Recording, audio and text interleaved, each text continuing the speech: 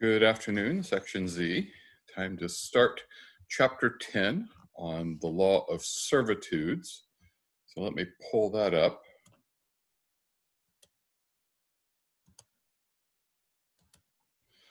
So we're over here on page 487. Um, so, what is a servitude? Usually, we're talking about some kind of an interest in land that places a burden on a piece of land, often, but not always, for the benefit of some other piece of land, and that typically arises from a private agreement uh, between landowners or between a landowner and someone else. Um, notice here they have a chart on 487 with different kinds of servitudes. And so we will talk about some of these, uh, less about others. For instance, um, we will talk very little about profits, but that's basically a right that one person has to come onto land owned by somebody else and to remove something. So if you had the right to cut timber from somebody's land, that would be a profit. We won't do much with that. Uh, we'll talk more about easements. We'll talk about uh, licenses in our the course of our discussion of easements. We'll talk about covenants. But I don't know if your book has exactly the same chart on page 487. Uh, this was an early set of page proofs, and so they might have corrected this later on. But I wanted to kind of note one thing: if you do have this uh, this uh, figure in your book, that it's incorrect. Um, when it classifies real covenants and equitable servitudes and places them under the category of profits, that actually should be down here under the category of covenants. So there are subcategories of covenants. There are real covenants and equitable servitudes. We will get to those after our discussion of easements and licenses. Um, so over on page 489, we get into the discussion of one kind of servitude, an easement. And there's a distinction that the authors draw between affirmative and negative easements. And so an affirmative easement is one that gives a positive right, uh, an affirmative uh, right to do something on land owned by somebody else. And so, kind of a most uh, common example of an affirmative easement would be like a right of way. Um, I, if I have an easement over my neighbor's property, I have the right to go on their property and drive over or walk over that easement to get to someplace else. Um, and since it gives me the right to do something affirmative on somebody else's land, it's an affirmative easement. Um, there are also a small category of what are called negative easements, which don't allow the holder to do something on the other person's land, but instead allow the holder to prevent the landowner from doing something that would be harmful to them on the landowner's land. So they're restrictive in character um, most easements are affirmative. Uh, the courts very early on restricted the number and kind of negative easements, but just recognize that there is such a thing as a negative easement. Um, and we'll talk about that a little bit more later in the chapter. So, um, we're going to talk in this lecture about some terminology and about uh, the creation of express easements. Um, and let's do that in the context of the first case they give us, uh, the Willard versus uh, First Church of Christ Scientist case on 491. Um, notice they tell you that an easement is an interest in land that's within the statute of frauds. Um, and so generally you should have a written instrument for an easement, although we will note some exceptions to that instances where easements can arise even without a written instrument. Um, but here in Willard, we're talking about an attempt to create an easement in a deed, and so uh, there would not be any statute of frauds problem in the Willard case. So in the Willard case, there is a lot, which is called Lot 20.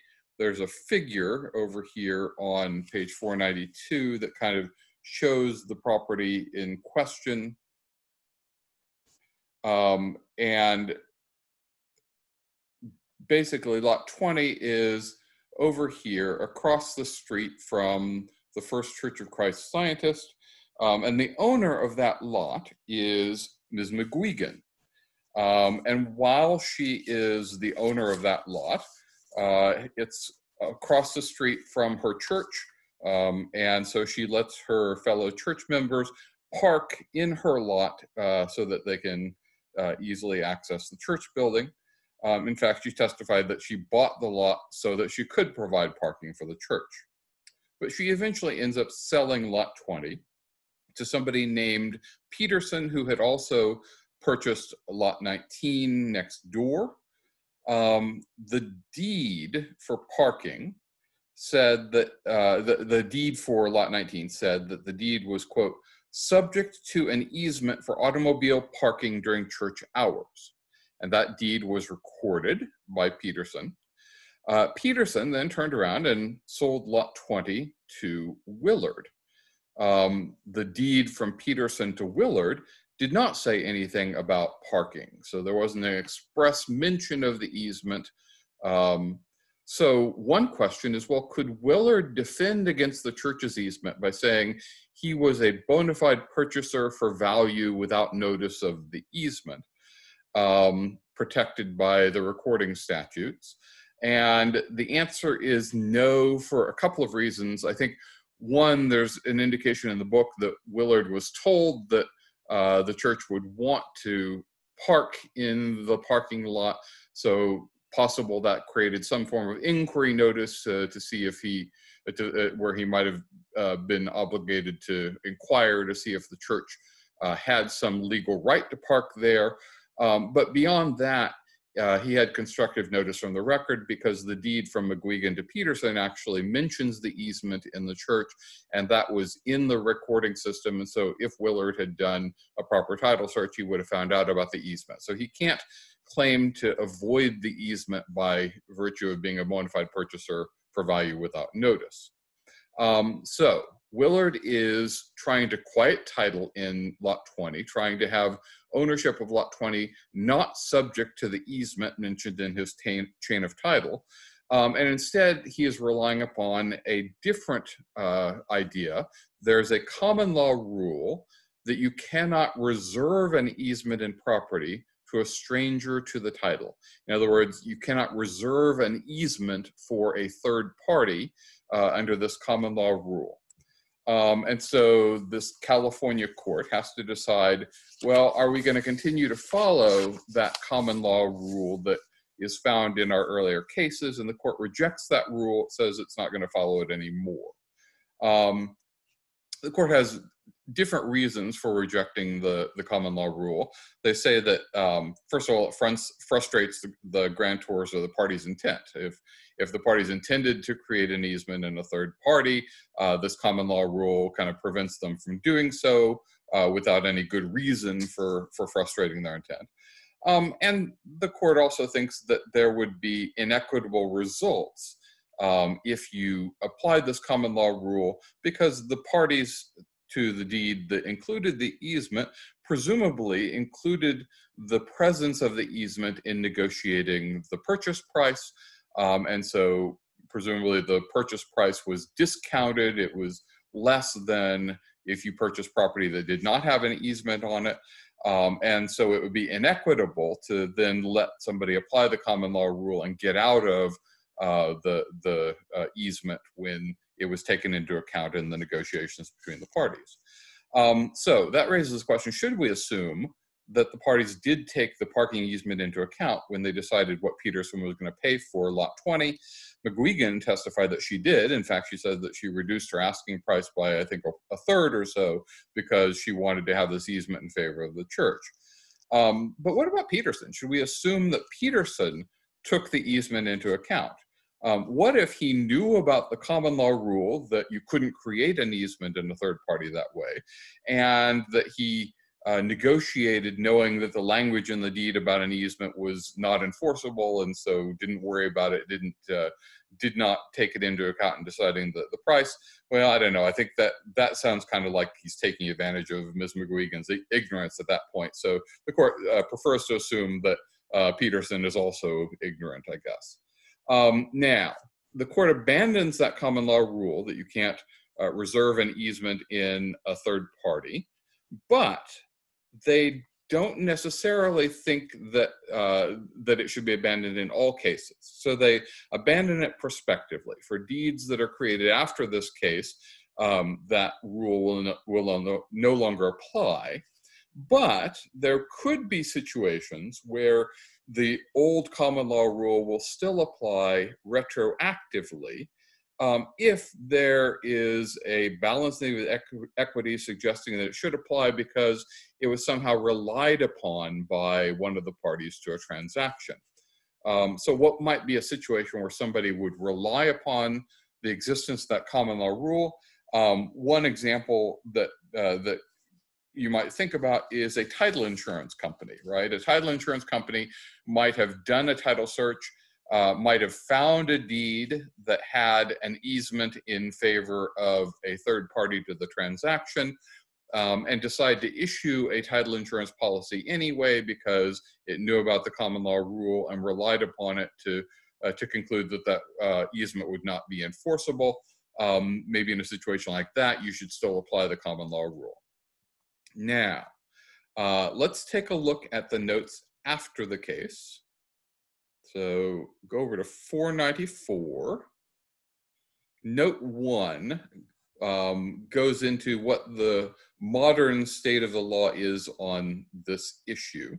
Uh, the third restatement of property supports the result in this case um, that you should be able to reserve an easement in a third party or create an easement in a third party to the transaction. Um, but there are other jurisdictions that uh, still apply the common law rule, including some that are uh, relatively recent and so uh, still kind of divided case law on that issue. Now, note two how would you draft documents so as to carry out Genevieve McGuigan's intent and not violate the common law rule that an easement cannot be reserved in favor of a third party. Um, so think about that for a second. How could you draft around the common law rule? Um, and this is like some of the other problems that we have had earlier in the book, where sometimes through use of two different documents, you can do something that you couldn't do in a single document under property law. So, how might you be able to use two different documents to get around that common law rule? Um, well, the author suggests a couple of ways. So, first of all, document one, uh, McGuigan, who owns lot 20, conveys lot 20 to the church. And then in document two, the church conveys lot 20 to Peterson, but reserves an easement in itself. And so then it would be an easement reserved in the grantor rather than in some third party and would not violate the common law rule. Um, or a second possibility that the authors mention. Um, document one, uh, that McGuigan conveys the property to Peterson in fee simple without any mention of an easement. And then in document two, Peterson conveys an easement to the church. But you do that all uh, as, as one kind of course of conduct sitting around a table uh, at closing to make sure that it all gets done properly. Um, the authors ask another question if the church had lost, would the church's attorney who drew up the deed be liable for malpractice? Um, and so here the question is really, would a lawyer of reasonable skill uh, know about the common law rule and know about how you could get around it, how you could uh, create an easement uh, that would benefit some third party to the transaction. Note three, the court here applies a rule that you cannot reserve an easement in favor of a third party. Um, but there is a technical distinction in the, the law between reservations and exceptions. Um, and so they tell us that a reservation is a provision in a deed creating some new servitude which did not exist before as an independent interest. Um, and then they tell us that an exception is a provision in a deed that excludes from the grant some pre existing servitude on the land. Um, and so now at the bottom of 495, uh, the authors ask a question. now that you understand the difference between a reservation and, ex- and an exception, does the court's statement in footnote one that an exception cannot vest an easement in a third party make sense? Well, it makes technical sense if by vest you mean you're creating a new easement. Um, but if there's already an easement on the land in favor of some third party, um, there's no reason that I know of or that the parties uh, that the authors mentioned that you couldn't accept that pre-existing easement from the deed. Um, and so maybe it's it's technically right, but but maybe not that important. The point that the authors make, uh, or the, that the court makes in that footnote. Um, now go over to note four on page 496. Here, the authors draw your attention to a distinction that's made early on in this chapter between easements appurtenant and easements in gross. Um, and so, what is the difference between those two? Now, for this, I want to go back to page 489, where that distinction is first introduced. Here we go.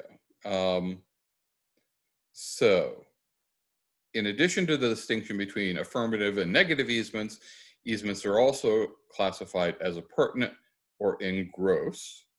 Um, and they tell you that an easement appurtenant gives the right to whomever owns a parcel of land that the easement benefits.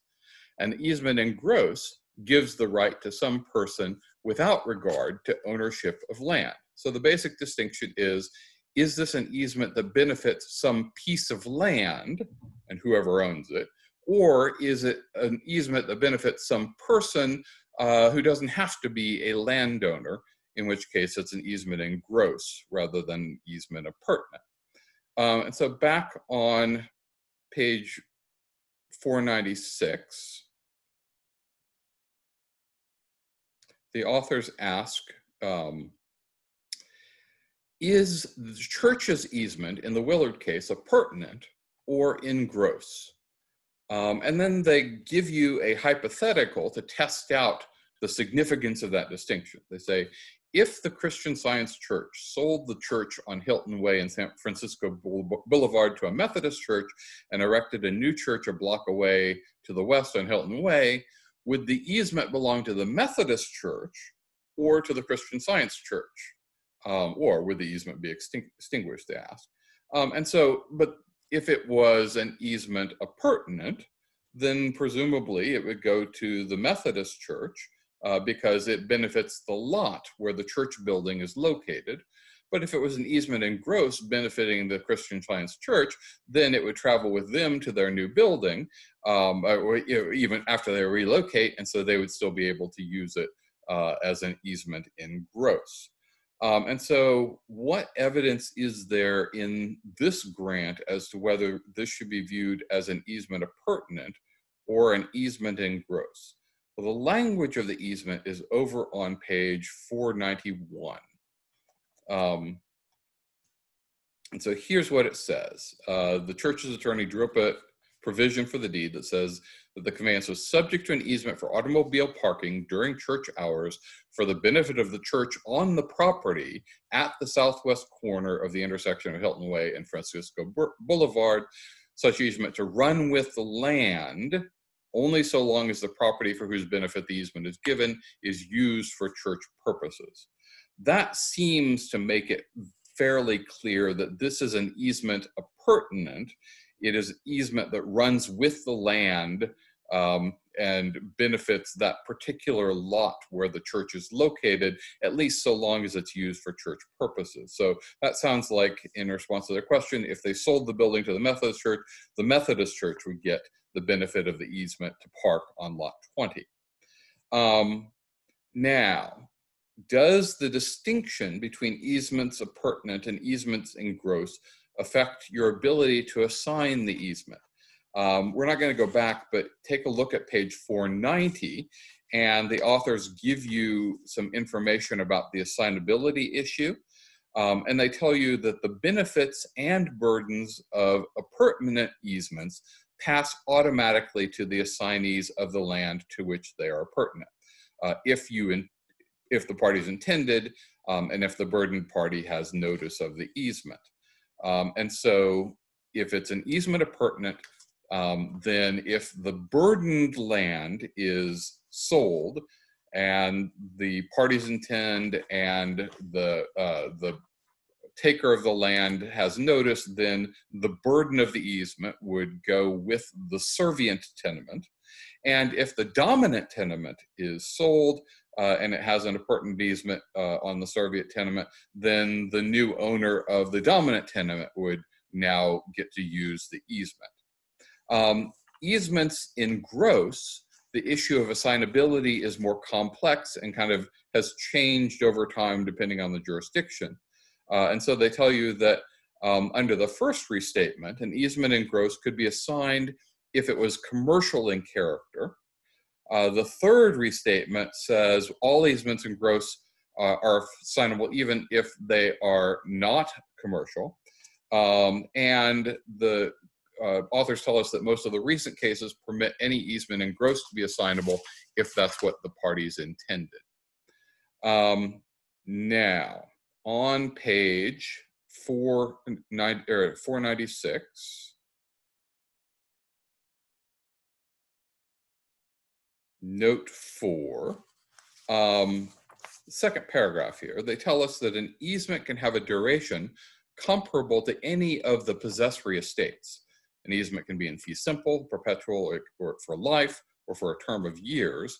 How would you describe the duration of the easement in Willard? Remember that the easement said that it lasts so long as the property is used for church purposes. Um, and so that sounds like it is a determinable easement. And so you remember the fee simple determinable, what gives a fee simple estate so long as land is used in certain ways. Here, the easement seems to be determinable. Um, it exists so long as the dominant tenement is used for church purposes. Uh, good stopping point. We're going to move on and talk about licenses uh, and easements created by licenses next.